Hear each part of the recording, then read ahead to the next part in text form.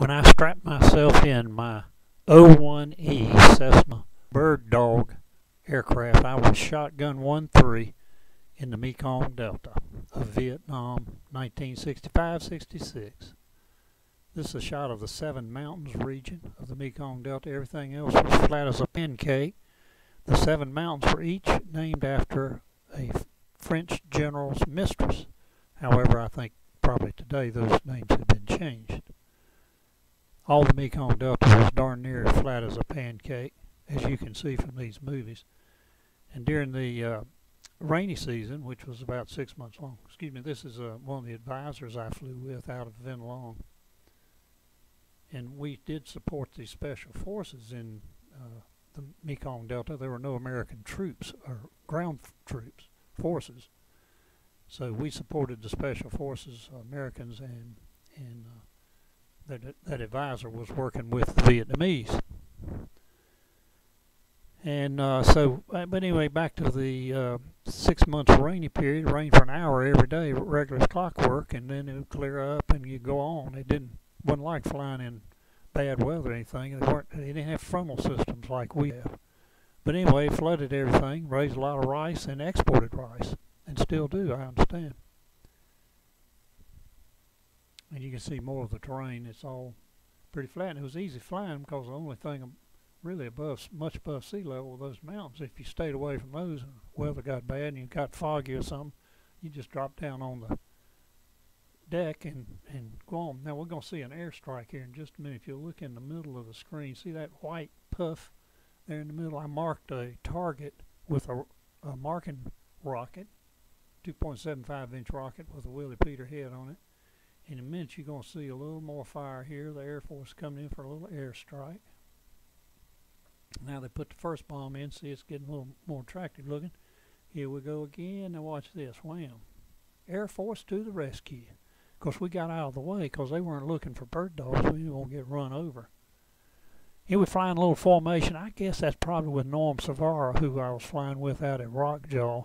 I'm really not sure, to tell you the truth. But anyway, the Bird Dog's a great little plane. It always got me home. It's not fast or pretty.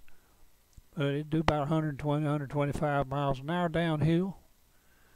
And uh, But she's a great little bird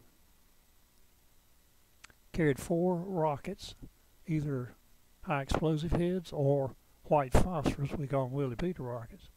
WP, that's what they're called in the Army. For marking targets, depending on our mission, whether we carried the uh, high explosives or the um, Willie Peter uh, rockets.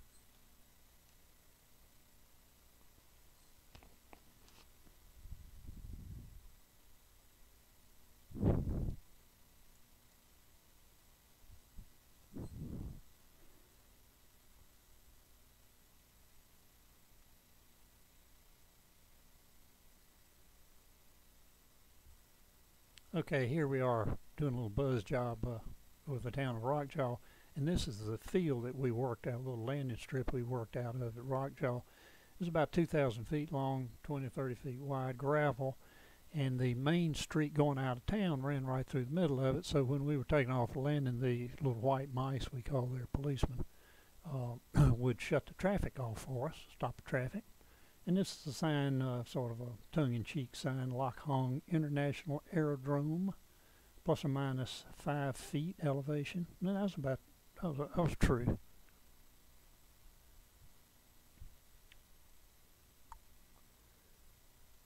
And here comes the uh, arm down, stop the traffic, stop sign. We got a plane coming in to land. Here he comes.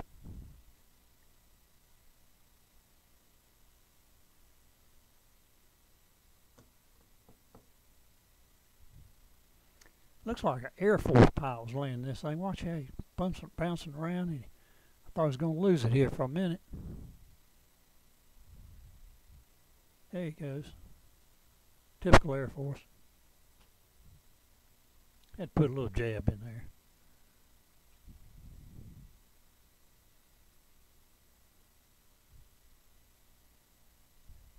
Here goes the Air Force pilot out. And this guy had a nice uh, tiger mouth painted on his cowling. Our old man wouldn't let us do that. he was a little stiff about stuff like that. He was climbing out over the Gulf of Siam, and now the traffic's coming back across the runway.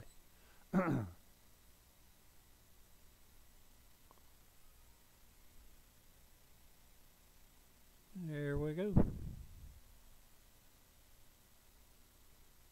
He comes back down to this Air Force pilot. He's just trying to show off now. Another buzz job. Here's yours truly getting in the cockpit. And now I'm in the plane and I'm pointing out the arming switches for our rockets we carried. And we're getting ready to fire one. Here it goes. There it goes. 2.75 inch rocket with a high explosive head on that one, I believe. Either that or Willie Pe Peter white phosphorus. And this is in uh, Vinh Long, and, and uh, the helicopter company there is going to do a tribute to a pilot who was killed a couple days before in a Huey his crew chief or his gunner was firing his uh, machine gun out the door. The pilot did an abrupt maneuver. The crew chief fell on the weapon. It sprayed bullets in the cockpit and killed the pilot, unfortunately. His name was M, and that's the reason for this M formation. Or his name started with an M, I'm sorry. I cannot remember his name at this time. This was in tribute to him, and everybody was uh, pretty upset about it. Set him back a little.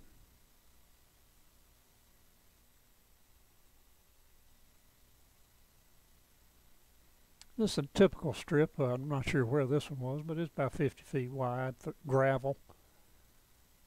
Mac McMonagle is pre-flighting his bird dog. He's the one with the back to the camera. Get a close-up of him just a minute. He's a great guy, good friend of mine. He was our also our instrument instructor pilot, so we got our we had an instrument trainer bird dog, and uh, Mac would give us our annual checkups. And that's Mac checking his fuel. And here Mac goes off. A little strip. He probably won't show off too like most pilots. He's going to come around and give us a buzz job.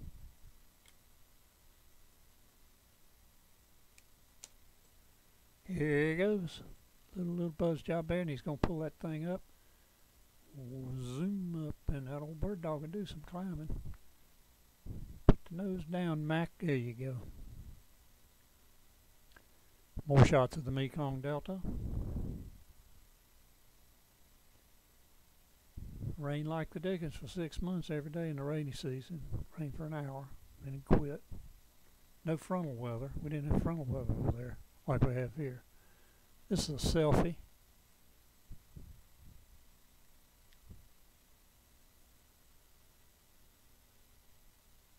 Looking out the back of the bird dog. I'm not sure where this was, some landing strip somewhere, but I'm not familiar. Most of them had a lake beside them, a, a pond where they dredged the dirt out to build the runway up. Every one of them had water on each side.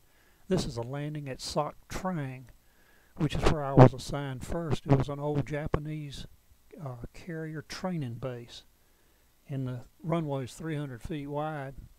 That's so the carrier boys, uh, Japanese, could learn to land uh, and take off into the wind as carrier pilots do.